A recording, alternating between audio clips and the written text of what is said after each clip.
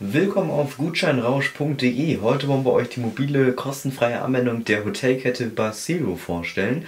Wie gesagt, betreibt dieses Unternehmen in insgesamt 16 Ländern 142 Hotels und mit der mobilen Anwendung kann man sich über einige Standorte ein paar mehr Informationen einholen. So gibt es hier zum Beispiel auf der Startseite direkt die Möglichkeit zu wählen, wo man denn gerade ist Guatemala City ist hier zum Beispiel ein Beispiel. Ja, Barcelona ist auch mit dabei und natürlich auch einiges andere. Wir wählen in diesem Fall einfach mal das ganz oben aus. Man bekommt hier gleich ein paar Infos angezeigt und kann dann hier auf Enter gehen. Beim ersten Mal, wenn man sich diesen Bereich anschaut, wird das Ganze heruntergeladen, also als Datei, damit man nicht immer wieder so viel Dateien nachladen muss, nicht so viel äh, Datenvolumen auch verbraucht. Und äh, jetzt ist, ist man hier in einem neuen Bereich dieser mobilen Anwendung, also wirklich ähm, in dieser ausgewählten Stadt. Und hier bekommt man jetzt mehrere Möglichkeiten. Auf der Startseite natürlich erstmal eine, eine Einleitung, sage ich mal. Das ist dieser Future-Bereich hier. Da gibt es natürlich unterschiedliche Möglichkeiten, auf die man einfach mal klicken kann.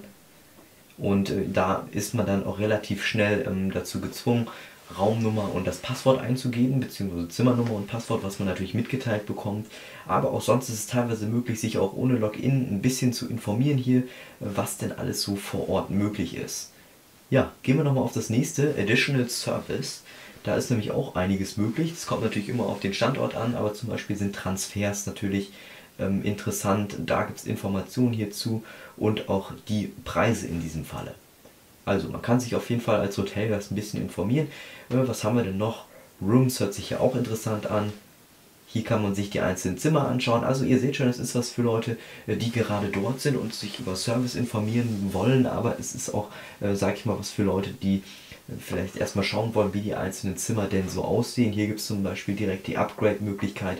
Das ist dann natürlich nur was für Leute, die dort schon gerade ja, verkehren und Gast sind. Es gibt dann hier auch die Restaurants.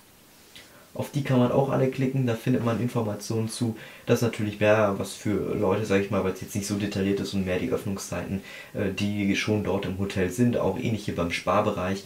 Also insgesamt ist das eine App für Hotelgäste und nicht für Leute, die, äh, sage ich mal, sich ein bisschen informieren wollen. Das geht ein bisschen besser über die Internetseite. Es gibt jetzt aber auch die Möglichkeit, hier oben auf äh, Login und dieses X zu klicken.